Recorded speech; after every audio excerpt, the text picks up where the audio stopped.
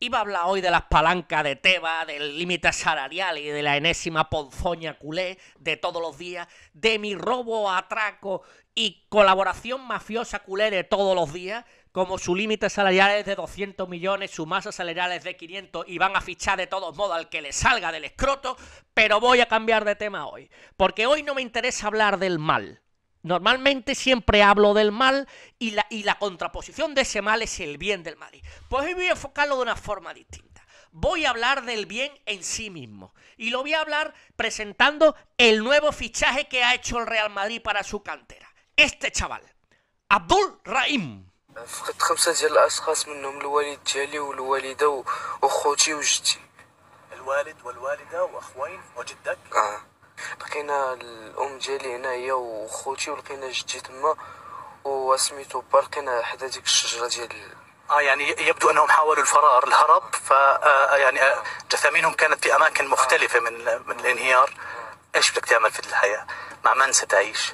يعني إيش بدك؟ غادي نعيش مع عمتي وناوي إن شاء الله نحقق الحلم ديال الوالد واني نبغى نقرأ ونكون شي حاجة في المستقبل إن شاء الله كان للوالد حلم ما شو الحلم اللي كان يحلم فيه؟ كنبغى نكون شي أستاذ ولا شي طبيب انت لا لا إحنا اتفقنا أنك شجاع عبد الرحيم صح؟ اتفقنا أنك شجاع وأنك تريد أن تتحدث في الرسالة بقوة. وأنا طبعا أعذر مشاعرك ولكن إيش الطموح الذي تنوي أن تصل إليه؟ المشاهدين يسمعوك. إيش ناوي أن تصبح؟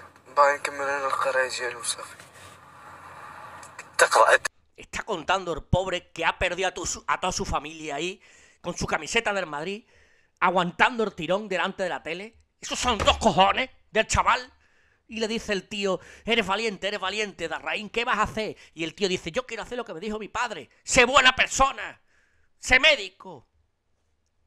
Sé maestro. Llega lejos en la vida con mi trabajo. No comprando árbitros. Ni robando. Ni atracando. Trabajando, Es impresionante el chaval, ¿eh? Impresionante, ¿eh? Pelos como escarpia. ¿Qué cojones tiene el tío?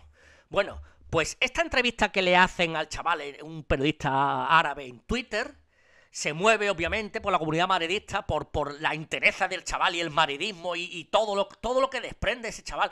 Ese chaval que desprende fuerza, desprende cojones, desprende valentía, desprende sensibilidad, desprende madridismo y desprende diciendo voy a intentar honrar a mi familia que la mierda de la- de vida esta se la ha llevado ahí trabajando y siendo alguien en la vida, no robando, ¿vale? Ni comprando árbitros, ni tirando cochinillos, ni, ni ahí con los valores del Madrid. Ese chaval tiene dos cojones y ese vídeo se ha movido en Twitter por todos lados. Y le ha llegado al Madrid. ¿Y sabéis lo que ha hecho el Madrid? Ha hecho dos cosas que son típicas Madrid. ¿Vale? Porque el Madrid es el bien. Y es el mejor club del mundo. Y el club, el único club que tiene valores, no valores, no valores, valores es el Madrid. El Madrid ha hecho dos cosas. Ha llegado, ha, ha estado en contacto con el chaval, por el periodista, por la embajada y tal, y está ahora mismo preparando los papeles para que fiche por el filial. ¿Vale? Un chaval que obviamente está diciendo que quiere ser médico maestro, que no quiere ser futbolista. ¿Vale? El Madrid se lo va a traer a España al filial para que ese chaval cumpla su sueño. De estudiar, de trabajar y de llegar lejos la vida con dos cojones que ha demostrado. Dos cojones madridistas. ¿Vale? Y la otra cosa que hace el Madrid sobre este tema es que no le da publicidad. Esta noticia solo sale en Defensa Central.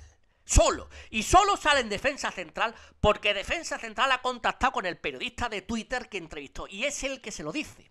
¿Vale? Mira, aquí os pongo el vídeo de captura que cogió del AS y del marca de cuando salió esta noticia en Def Central. No dicen nada. ¿Por qué no dicen nada? No están ocultándolo. No, porque el Madrid no les ha informado. ¿Y por qué el Madrid no informa cuando hace el bien? Porque el Madrid hace el bien por el bien. ¿Comprendéis? ¿Comprendéis? Es que esto es muy importante.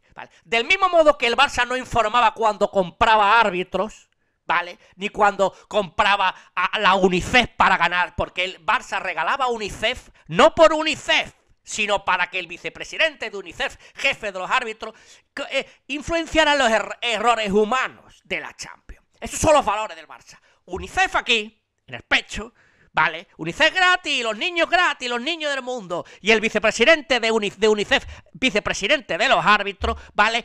Haciendo errores, hay tequinazos ahí, humanos. Eso es lo que. es. UNICEF significaba, no quiero UNICEF, quiero robar, pero robar como sea.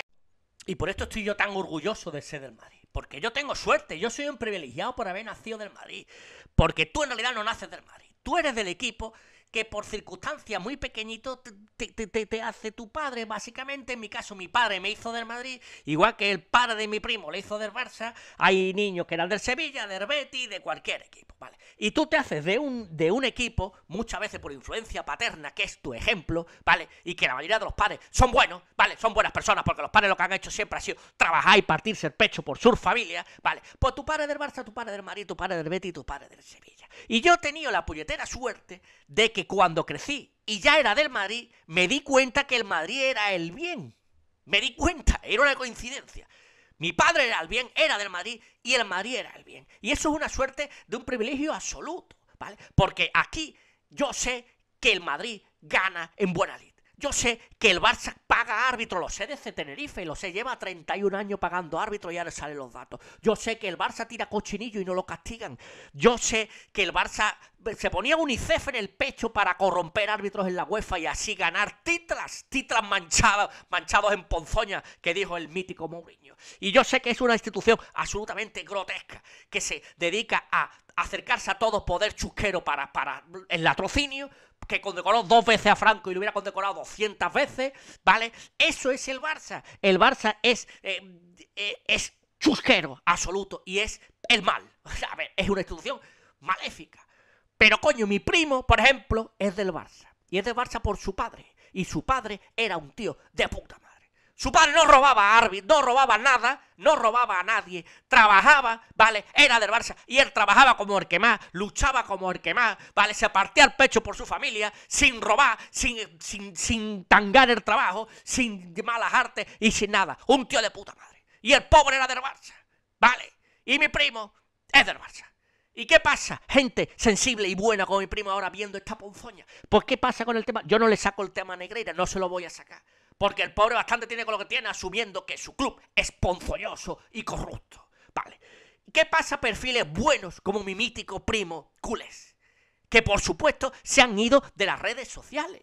Porque una persona buena y decente del Barça, vale, no puede estar diciendo que el Madrid roba a los árbitros, que el Madrid franco, que no sé qué, porque saben la verdad, porque la verdad es palmaria, ¿vale? Es palmaria, señores, es, es, es solo, solo quedan defensores del, del periobarcelonismo, del, de que el Madrid es de Franco y Negreira estaba para compensar, solo quedan los cínicos y o cortitos intelectuales, ¿vale? La gente que tiene una capacidad intelectual un poquito superior de la necesaria para no cagarse por la feria, ¿vale? Y los cínicos absolutos. Mr. Seitan, más cínico que tonto. J. Jordi, más tonto que cínico. Spider Culé, una araña con mentalidad de araña y ci- cinismo de araña. Esos son los culés que en redes sociales, uno Stalby, que no sé qué. Gente, gentecilla, gente indigente, intelectual o moral. Porque una persona decente y buena del Barça está jodido y está callado. Y se ve estar callado hasta que esta ponzolla que nos quiten la liga, que, que, que estoy deseando que lo desean. Que se acabe esta mierda y empezamos de cero. Vale, pero lo que queda ahora en las redes sociales del Barça es el chusquerismo absoluto. Cínicos, tontos o las dos cosas. Que es lo único, porque la única capacidad que hay que tener para defender esta ponzoña aprobada durante años. Vale, ya me he quedado tranquilo, ya me he quedado relajado. Gracias, papá, por hacerme del Madrid. Primo, te quiero. Y primo Alberto, claro, que del Barça. Eh, Ícaro es del Madrid, coño. Pero vamos a ganarlo todo, cojones. Venga, pues esto es lo que hay. Y bien, welcome tu Real Madrid, Abdul Rahim. Eres, eres, eres un ejemplo, tío. Eres increíble chaval este. La vida puede ser jodida, es jodida muchas veces. Los que vivimos en el primer mundo no apreciamos lo chungo que viven estos desgraciados. Vale, la gente que tiene mi edad sí lo sabe, porque yo tengo 50 palos. Vale, y yo tengo una conexión, una conexión entre el pasado y el presente, ¿vale? Porque cuando yo era chico, había gente que había, que había estado en la guerra civil y que había estado en la, en la época del hambre y que sabe que, que lo que es ser pobre como, como rata. ¿Lo sabían? Yo no. Yo ya me crié en el 70 y pico y ya no éramos pobres como rata. Y los niños de ahora tienen de todo. Pero estos chavales de África tienen dos cojones, ¿vale? Y yo conecto con esos dos cojones por mi edad. Porque yo he hablado con mi titi, por ejemplo, el pobre que me contaba que sus padres le regalaban por los reyes todos los años el mismo tambor. Los reyes eran uno, un regalo. ¿vale? Y los, claro, no tenían dinero, porque no tenía dinero nadie en Río Tinto. Éramos un pueblo pobre, ¿vale? Como toda España, la posguerra, ¿vale? Y el pobre le regalaban un tambor dos o tres meses antes de los reyes, desaparecía. Su padre se lo pintaba de otro color, se lo restauraba y se lo regalaba otra vez. Eso lo sé yo, ¿vale? Y de esta vida que yo tengo constancia por mi edad y por lo que me han dicho, ¿vale? Viene este Abdul Rahim. ¿Vale? Y su padre quiere que sea médico, quería que sea médico o maestro.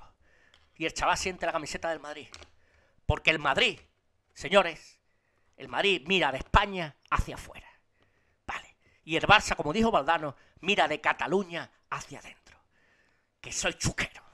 Independencia. eh, Regionalismo. El mundo con lo grande que es. Y ustedes ahí que sois los mejores, los mejores, que nos oprimen, el pop, la llora, somos, somos palestinos, puteados. Eso es lo que os ustedes, que sois, que sois increíble, increíble. El mundo es muy grande y hay mucha gente puteada y el Madrid representa al mundo entero. ¿Habéis vais a escuchar un madridista que diga eh, España, el mundo, no nada? Somos una familia internacional. Igual madridista un tío de Marruecos, de Pekín, de Sebastopol, de Cuba, de México, de Argentina y de Uruguay que yo. Lo mismo es, lo mismo es. Y un culé, un culé. Ya de, de- ya de, de Nerva, que está al lado de Barcelona, ya es un culé de segunda, porque es un españo, españoluzo, españoluzo de esto que nos viene a robar, que viene a quedarse con nuestros impuestos. Venga, a la Madrid. Como no se suscribe ni Perry Mason, voy a intentar la psicología inversa. No te suscribas, no se te ocurra suscribirte. Ya tengo suficientes suscriptores y estoy harto de tanta atención mediática, cuñado. Venga, no te suscribas, no te suscribas. Tú dale al, a clic al siguiente vídeo y te suscribes al que tú quieras. Venga, a J. Jordi y a Mr. Seitan. Venga, no te suscribas.